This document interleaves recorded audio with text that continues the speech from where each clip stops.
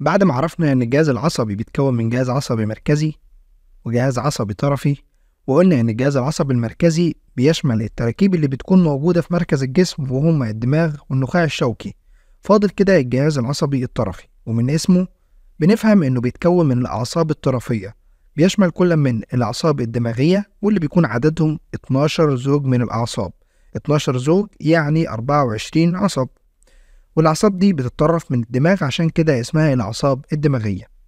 والنوع التاني من الأعصاب وهي الأعصاب الشوكية وعددهم 31 زوج من الأعصاب اللي بيتطرفوا أو بيخرجوا من النخاع الشوكي. الأعصاب دي سواء كانت الدماغية أو الشوكية بتنتشر في الجسم كله علشان تربط وتوصل ما بين الجهاز العصبي المركزي وما بين جميع أجزاء الجسم. فيبقى كده دور الجهاز العصبي الطرفي هو إنه بيربط الجهاز العصبي المركزي بجميع أجزاء الجسم. تعال الأول نراجع يعني إيه أصلا كلمة عصب.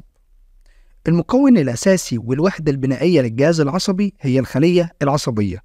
الخلية العصبية دي في منها ثلاث أنواع وهم الخلية العصبية الحسية والخلية العصبية الحركية والخلية العصبية الموصلة. وطبعا الموصلة أو الرابطة ما بينهم. وبشكل عام قلنا في الفيديوهات اللي قبل كده إن الخلية العصبية بتتكون من جسم الخلية العصبية ومحور والمحور هو اللي بيخرج من الجسم واسمه محور الخلية العصبية أو الليفة العصبية.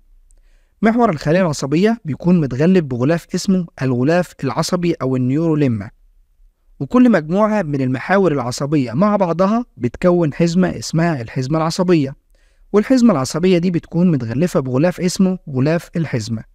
وده بيتكون من نسيج ضم بيحيط بكل حزمة عصبية.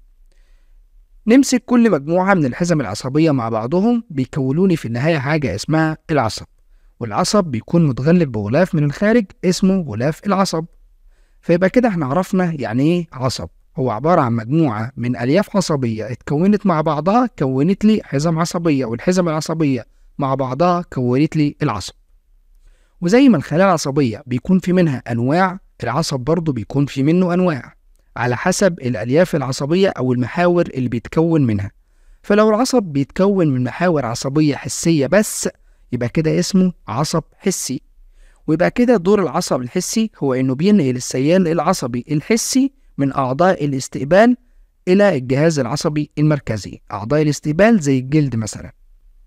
ولو العصب ده بيتكون من محاور عصبية حركية بس فيبقى كده اسمه عصب حركي ويبقى دور العصب الحركي هو إنه بينقل الأوامر الحركية من الجهاز العصبي المركزي إلى أعضاء الاستجابة زي مثلا العضلات والغدد.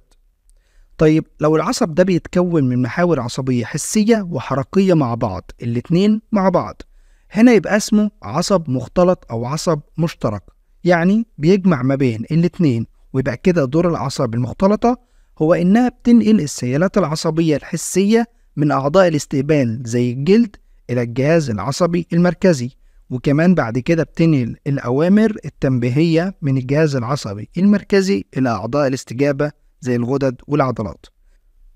ويبقى كده اتجاه انتقال السيال العصبي. في العصب الحسي هيكون في اتجاه واحد بس وفي العصب الحركي برضه هيكون في اتجاه واحد بس. إنما في العصب المختلط السيال العصبي بينتقل في اتجاهين متعاكسين لأنه طبعا بيتكون من خلايا عصبية حسية بتنقل السيال العصبي في اتجاه وخلايا عصبية حركية بتنقل السيال العصبي في اتجاه معاكس ليه. وإحنا قلنا إن الجهاز العصبي الطرفي بيتكون من 12 زوج من الأعصاب الدماغية اللي بتخرج من الدماغ. والأعصاب الدماغية دي بيكون في منها أعصاب حسية وبيكون في منها أعصاب حركية وبيكون في منها أعصاب مختلطة. إنما الأعصاب الشوكية واللي عددهم 31 زوج واللي طبعا بيخرجوا من النخاع الشوكي كل الأعصاب الشوكية هي عبارة عن أعصاب مختلطة بس يعني حسية وحركية مع بعض. إحنا عارفين إن الحبل الشوكي بيكون موجود داخل العمود الفقري والحبل الشوكي قلنا إن طوله بيكون حوالي 45 سنتيمتر في الشخص البالغ وبيكون موجود داخل قناة عصبية على طول العمود الفقري. وبالتالي الأعصاب الشوكية اللي بتخرج منه بتكون متوزعة على جانبي العمود الفقري في مناطق مختلفة. تعال الأول بس نعرف مناطق العمود الفقري. إحنا معانا العمود الفقري بيتكون من 33 فقرة متقسمين على خمس مناطق. هنجيبهم من فوق لتحت. أول منطقة معانا فوق اسمها منطقة العنق اللي هي منطقة الرقبة. ومنطقة العنق بيكون فيها سبع فقرات عنقية. بعد كده المنطقة التانية وهي منطقة الظهر وبيكون فيها 12 فقرة ظهرية أو بنقول عليها 12 فقرة صدرية. بعد كده المنطقة التالتة وبيكون فيها خمس فقرات بنقول عليهم خمس فقرات قطنية. وبعد كده المنطقة الرابعة وهي منطقة العجز وبيكون فيها خمس فقرات عجزية. والمنطقة الخامسة والأخيرة وهي منطقة العصعص واللي بيكون فيها أربع فقرات عصعصية. كل منطقة بيخرج منها عدد من الأعصاب الشوكية. في اللي بيكون في نفس عدد الفقرات وفي اللي بيختلف عنه. يعني مثلا العنق فيها سبع فقرات بس ولكن بيخرج منها 8 أزواج من الأعصاب الشوكية. والعصعص بيكون فيه أربع فقرات بس بس بيخرج منه زوج واحد من الأعصاب الشوكية. وباقي المناطق نفس عدد الفقرات هي نفس عدد أزواج الأعصاب. في الظهر معانا 12 فقرة وبيخرج 12 زوج من الأعصاب الشوكية. وفي القطنية معانا خمس فقرات وبيخرج خمس أزواج من الأعصاب الشوكية. وكذلك في العجز معانا خمس فقرات عجزية وبيخرج خمس أزواج من الأعصاب الشوكية. فيبقى كده إحنا معانا إجمالي عدد الفقرات 33 فقرة ولكن إجمالي عدد أزواج الأعصاب 31 زوج من الأعصاب الشوكية. يعني كده عدد الفقرات بيكون أكتر من عدد أزواج الأعصاب الشوكية. إحنا قلنا إن كل الأعصاب الشوكية هي أعصاب مختلطة يعني بيكون فيها أعصاب حركية وأعصاب حسية. والأعصاب الشوكية لما بتخرج من الحبل الشوكي بيكون ليها جدرين جدر ناحية البطن فبنقول عليه اسم جدر بطني وجدر ناحية الظهر فبنقول عليه جدر ظهري. الجدر البطني بيحتوي على الألياف الحركية وبالتالي كده بينقل الرسائل أو الأوامر من الدماغ والنخاع الشوكي لأعضاء الاستجابة. والجدر التاني اللي هو بيكون ناحية الظهر واللي اسمه الجدر الظهري بيكون فيه ألياف حسية. وبالتالي بينقل الرسائل أو السيلات العصبية من أعضاء الاستقبال إلى الدماغ والنخاع الشوكي. فيبقى كده الجدر البطني فيه ألياف حركية ونحفظها بكلمة بحر. بطني يبقى حركي والظهري عكسه يبقى حسي. بعد كده تعالى نعرف يعني إيه فعل منعكس أو القوس الانعكاسي عارف لو أنا دلوقتي جيت وشكيتك بدبوس هتسحب إيدك بسرعة أو مثلا لسعتك أو حتى خضيتك رد فعلك السريع ده اسمه الفعل المنعكس. والفعل المنعكس بيحصل خلال القوس الانعكاسي. فيبقى كده القوس الانعكاسي هو وحدة النشاط العصبي بجسم الإنسان. القوس الانعكاسي بيتكون بشكل أساسي من عضو الإحساس اللي بنقول عليه عضو الاستقبال يعني بيستقبل الإشارات الحسية زي مثلا الجلد أو العين. بعد كده بيكون متصل بخلية عصبية حسية بتنقل الإشارة الحسية من عضو الاستقبال للنخاع الشوكي فيبقى اسمها برضه خلية عصبية واردة. والمكون الثالث وهو الخلية العصبية الموصلة أو الخلية العصبية الرابطة واللي بتكون موجودة داخل المادة الرمادية للنخاع الشوكي. وبعد كده الخلية العصبية الحركية اللي بتاخد الأوامر وتنقلها لعضو الاستجابة فبنقول عليها برضو اسم الخلية العصبية الصادرة.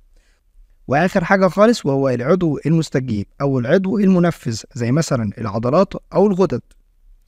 ده ببساطة تركيب القوس الانعكاسي ولكن أقل أو أبسط الأقواس الأنعكاسية بيكون فيه أربع مكونات بس لأنه مش بيحتوي على الخلية العصبية الموصلة وساعتها بنقول عليه أبسط الأقواس الأنعكاسية. ولكن بيحتوي على باقي المكونات بشكل طبيعي. بنلاحظ في القوس الانعكاسي شوية حاجات مهمة زي مثلا إن جسم الخلية العصبية مش بيكون موجود داخل المادة الرمادية للنخاع الشوكي. واللي بيكون موجود داخل المادة الرمادية هو جسم الخلية العصبية الحركية والخلية العصبية الموصلة كلها بتكون موجودة داخل المادة الرمادية.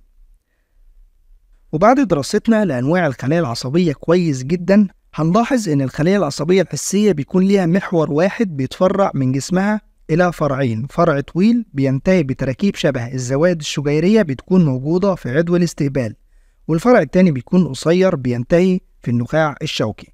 فيبقى كده المسافة ما بين جسم الخلية العصبية وزوايدها الشجيرية أكبر من المسافة ما بين جسم الخلية العصبية الحسية والنهايات العصبية. طيب هو القوس الانعكاسي بيكون تحت تأثير النخاع الشوكي ولا الدماغ؟ هو أصلا وظيفة النخاع الشوكي إن هو المركز الرئيسي للأقواس الإنعكاسية وبالتالي كده القوس الإنعكاسي بيكون تحت سيطرة النخاع الشوكي. علشان كده بيكون استجابته سريعة. لكن مثلا الإحساس بالألم بيكون بطيء مقارنة بالفعل المنعكس. بص دلوقتي لو اتلسعت من شمعة أو أي حاجة سخنة أول حاجة بتحصل هو إنك بتسحب إيدك بعيد عن المؤثر ده. وبعد كده بتبدأ إن أنت تحس بالألم تحس بالألم الفعلي اللي هو الوجع فعلا. لما سحبت إيدك ده كان اسمه فعل منعكس لازم يكون سريع لأنه بينقل إشارات مهمة والإشارات دي بتهدد حياة الإنسان. علشان كده الفعل المنعكس بيكون تحت سيطرة النخاع الشوكي. لكن الإحساس بالألم أو الوجع كان متأخر لأن الإحساس بيكون مسؤول عنه المخ بالتحديد الفص الجداري. والمخ استجابته بتكون أبطأ من النخاع الشوكي. علشان كده أنت بتسحب إيدك الأول وبعد شوية بتبدأ إن أنت تحس بالألم. لأن سحبان الإيد اسمه فعل منعكس وقلنا إن هو بيكون تحت سيطرة النخاع الشوكي واللي بيكون أسرع وأقرب للمؤثر. إنما الإحساس بالألم بيكون أبطأ لأنه تحت تأثير المخ وبالتالي استجابته بتكون أبطأ عن النخاع الشوكي. القوس الانعكاسي بيكون في منه نوعين. ممكن يكون قوس انعكاسي إرادي وممكن يكون قوس انعكاسي لا إرادي. إرادي يعني العضو المستجيب هو عضو بنقدر إن إحنا نتحكم فيه زي مثلا العضلات الإرادية واللي هنعرفها دلوقتي. ولا إرادي بيكون متصل بعضو مش بنقدر إن إحنا نتحكم فيه زي مثلا العضلات الملساء أو عضلات القلب أو الغدد. والغدد زي مثلا البنكرياس والغدد الكظرية وغيرها من الغدد. تعالى كده نعرف الأول أنواع العضلات.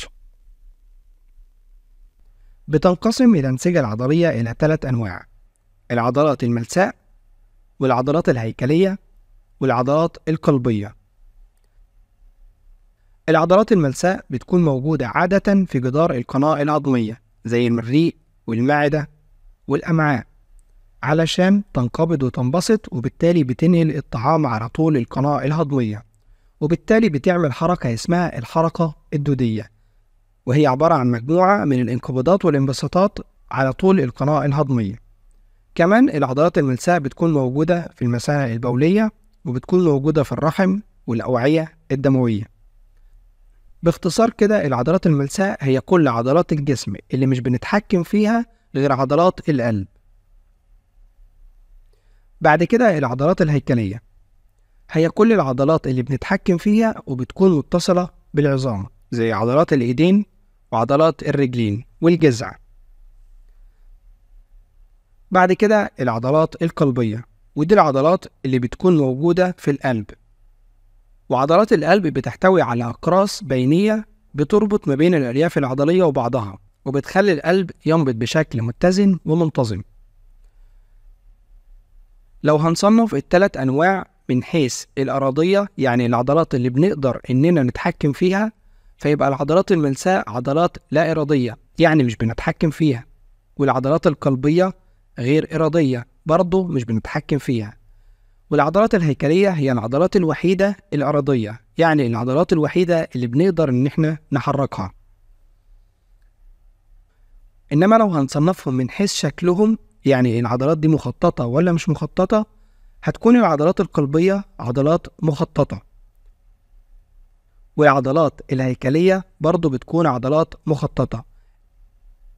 إنما العضلات الملساء هي العضلات الوحيدة الغير مخططة. حتى من اسمها بنعرف إنها ملساء وغير مخططة. يبقى كده العضلات في منهم ثلاث أنواع. عضلات ملساء بتكون غير إرادية وغير مخططة. وعضلات هيكلية بتكون إرادية ومخططة. وعضلات قلبية بتكون غير إرادية ومخططة. ودلوقتي لو القوس الانعكاسي متصل بعضلة مثلا زي الساق يعني كده عضلة هيكلية إرادية يبقى اسمه قوس انعكاسي إرادي. إنما مثلا لو متصل بعضلات ملساء أو عضلات قلبية أو غدد فيبقى اسمه القوس الانعكاسي اللا إرادي